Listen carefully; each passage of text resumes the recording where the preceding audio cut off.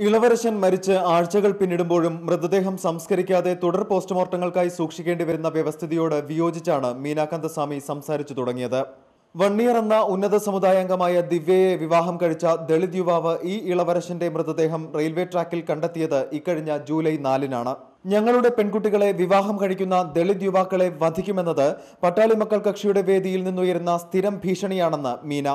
ഇളവരശന്റെ മരണത്തിന് പാർട്ടി അധ്യക്ഷൻ doctor S രാംദോസും മകൻ മുൻ കേന്ദ്രമന്ത്രി Anbumani രാംദോസുമാണ് ഉത്തരവാദികൾ The people who wanted him dead, they have succeeded.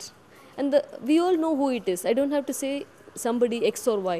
It is clearly the PMK, the Patali Makkal Kachi, which is run by Dr. Ramadas, which is run by his son Anbumani Ramadas, which is run by Kadu Vetti Gurus. Pattali മക്കൾ കക്ഷിയുടെ പീഡനത്തെ തുടർന്നാണ് ദിവ്യയുടെ പിതാവ് ആത്മഹത്യ ചെയ്യുന്നത് ഈ ആത്മഹത്യ കരുവാക്കി തമിഴ്നാട്ടിലെ ധർമ്മപുരി ജില്ലയിൽ മൂന്ന് ഗ്രാമങ്ങളിലായി ഇരുന്നൂറോളം ദളിത് വീടുകൾ അഗ്നിക്കിരയാക്കപ്പെട്ടുവെന്നും Meena We come from a different culture. We come from a culture that is trying to become very progressive. We have the self-respect movement. We have Periyar movement. We have, you know, the early communism of Jiva and others. So for us, it is a shock.